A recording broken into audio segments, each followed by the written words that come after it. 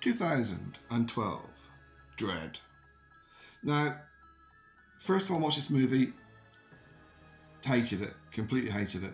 But then at the time, I was still in the same mindset that Sly Stallone had done Judge Dredd, and it was a brilliant comic book version of Judge Dredd. It had all the elements you want. This version, I keep forgetting the guy's name, stars in it. Um, I always get him mixed. I always get two guys mixed up. There's one, Schleven, Schlim, I don't know. Um, the, the guy who played the Transporter rebooted, and then you get the other guy who played. Um, oh God, Doctor McCoy in the more recent Star Trek movies. For some reason, I get those two mixed up. Anywho, it is a really good movie. It's more gothic art movie than just pure action. I mean, yeah, it does have the little woke aspect where you've got the black man having visions of raping the skinny white blonde, but aside from that, it's actually a pretty good movie. I've not seen it for about a year or two, so I'm due. Very arty. This is the reason why I didn't like it the first time I watched it because I was watching it with the mentality of Judge Dredd, which was an action, bang, bang, bang, bang, bang kind of movie. This is more Tron Legacy type.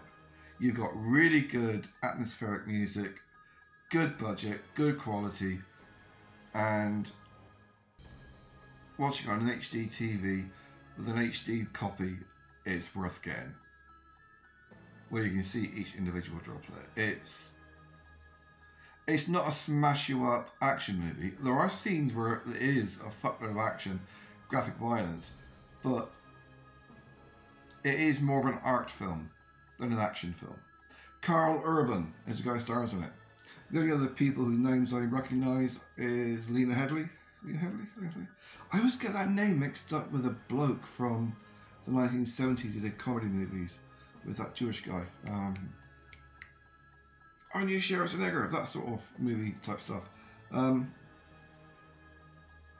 this is her, although people would generally recognise her as being blonde, skanky bitch from Game of Thrones.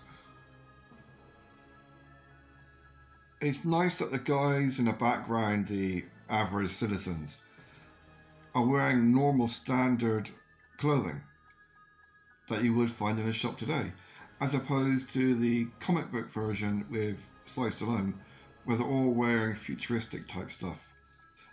A nice little bit about the way it's done is quite good.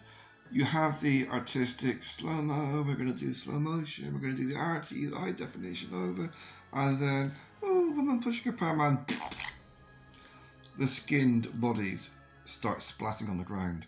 And the sound effect and the way they land is quite realistic because normally you get people trying to make things look more graphic and more gory and more noisy than they are in real life when it happens. And not the human body, but with animals. I, I know what they sound like when they're dead, skinned, and they hit the ground when they still got flesh on them. And this is quite realistic. If you watch it as an arty, gothic action movie, it's really, really good if you're watching it for just a standalone action movie, it's shit. But having something like this, where they do the slow mo of the explosion, and you see the ripples going through the guy's stomach, it's very well done. If you accept it's an art type film, not a pure action type film. It's not the first time I've watched a movie and hated it and then gone on to love it. And I do love this movie. I really do. It's a lot like um, the arty type movies. Tron Legacy, uh, not the remakes, Tron, uh, Tron Legacy, the um, Running Man, Running Man? Not Running Man. What's it called? Blade Runner. The Blade Runner sequel as well. Same thing. Couldn't stand both either of those films when I first saw them. But if you take away from the original, which is an action sci-fi, and then view it as an independent movie on its own, an arty type movie, then they're, then they're great. They're brilliant. I mean, Tron Legacy the soundtrack is amazing. This movie really good, really worth watching. Its value to me is because I can rewatch it. To me, a movie is not just something I can watch; it's something that I can reuse. I value things on how much I get value for money. It's a bit of a con because I don't pay for movies or TV series or porn. Does anybody? Apart from muggles? But the amount of my life I spend on it is how much value I get out of it. A meal. If a meal lasts for a few minutes, it ain't worth the call.